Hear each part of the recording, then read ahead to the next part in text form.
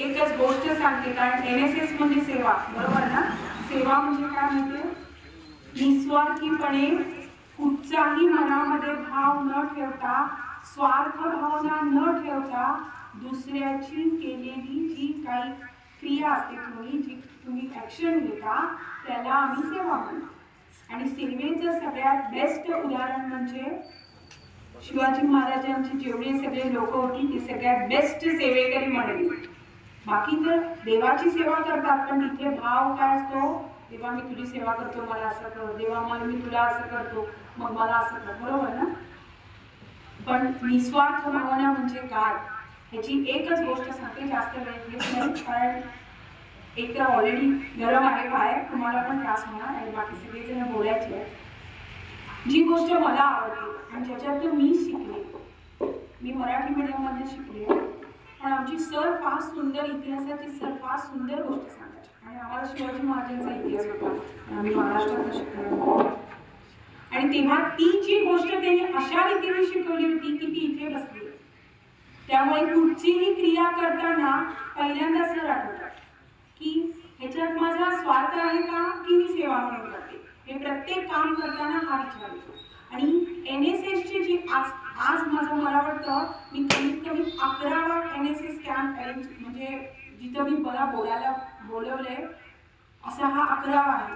पण मला वाईट वाटते सांगायला मी तुझे सर म्हणाले आले होते तेव्हा सांगितलं सर नका हो मला बोल मला नाही यायचं कारण मी प्रत्येक वेळा आव्हान केले की तुम्ही मुलं आमच्या देशाची पुढची पिढी आहात. आणि जेव्हा प्रॉब्लेम असतो तेव्हा तुम्ही यायला पाहिजे. जेव्हा फ्लड आलं जेव्हा करोना आला मी सगळ्यांना फोन केले. तुमच्या तुमच्या गावांसाठी फोन केले होते पण कोणी फोन उचलले नाहीत कोणी आलेले स्पष्ट बोलते मी जरा स्पष्ट बघते मला थोडा मला असं वाटतं की प्रत्येकाने आता आम्ही सेवा म्हणतो देशासाठी म्हणतो पण जेव्हा काम आहे- करायचे वेळ येतो तेव्हा आम्ही घरात बसतो. नो यूज त्यामुळे ही गोष्ट तुमच्या सगळ्यांसाठी आहे. आणि जी मला आवडली आहे आणि जी मी माझ्या डोक्यात बसवली आहे. तर माझं गाव मालवण आणि मालवणमध्ये सिंधुदुर्ग किल्ला आहे. आणि जेव्हा आदिलशहाची जेव्हा मुस्लिम लोकांची अं, जास्त करून आया बहिणींच्या अब्रूवरती जेव्हा हात घालायला लागले तेव्हा शिवाजी महाराजांनी ठरवलं की पाण्यामध्ये किल्ला बांधून तिथे व्यवस्था करायची. म्हणून कोकण भागामध्ये एक किल्ला बांधण्याची एक विनंती आली आणि त्याप्रमाणे पाहणी करण्यात आली आणि कुर्पे नावाच्या बेटावर कुर्पे नावाच्या बेटावरती सिंधुदुर्ग बांधायचा आता पाण्यात तुम्ही बघितलंय की नाही मला माहिती नाही कारण मी तिकडचीच आहे. कितीतरी खोल असं तो समुद्र आहे आणि तिथे ते बेट आहे. आणि त्या बेटावरती पायांच्या लाटा येत असताना ते समुद्रात बांधणी करणं सोपी गोष्ट नव्हती. पण शिवाजी महाराजांनी ठरवलं की शत्रूपासून आपण जर आपल्या प्रजेचं रक्षण करायचं तर आपल्याला किल्ला बांधणं गरजेचं आहे. मग कोणी किल्ला बांधायचा? हिरोजी इंदोरकरांना बोलवलं गेलं कारण तेव्हाच एक इंजिनियर होते.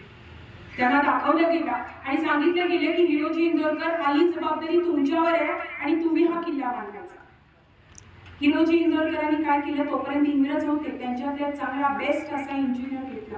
त्याच्याशी सल्ला मसलत करून सुंदर असा किल्ला बांधायचा ठरला.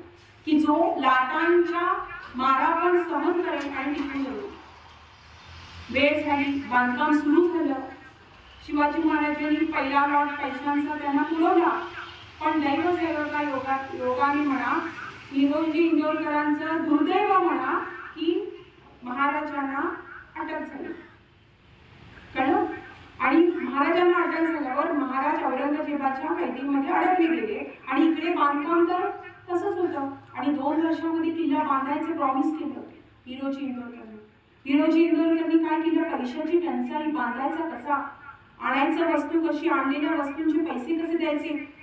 हिरोजी इंदोरकरांचं मोठं घराणं खूप सुंदर त्यांचं मोठं घराणं खूप बायका चांगल्या मोठ्या मोठ्या संस्थानिकाकडनं लग्न होऊन आलेल्या घरात होत्या. सुना बहिणी सगळ्या त्या सगळ्यांची दागिने होती आणि त्यांचे दागिने विकून किल्ला पूर्ण केला गेला. जेव्हा अटकेतून सुटून जेव्हा महाराज आले तेव्हा किल्ला ऑलरेडी बांधलेला होता.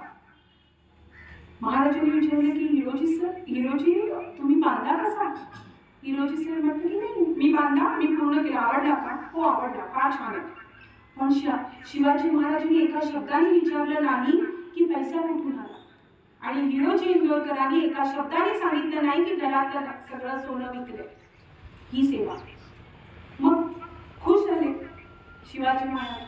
महाराजांनी विचारलं हिरोजींना तुम्हाला काय? प्रेझेंट काय देऊ मी? तुम्ही इतका सुंदर किल्ला बांधलाय की त्याच्यासाठी मी काहीतरी दिलं पाहिजे तुम्हाला मग त्यांना सांगितलं गेलं की महाराजांना की जेव्हा तुमचा राज्याभिषेक होईल तेव्हा जो गड बांधला जाईल तो गडाचं बांधकाम मला ठीक आहे म्हणजे महाराज. महाराजांचा रायगडा रायगडावर शिवाय राज्योत्सव करायचं ठरलं आणि रायगडाचं बांधकाम परत हिरोजी इंदोरकरांकडे दिलं गेलं.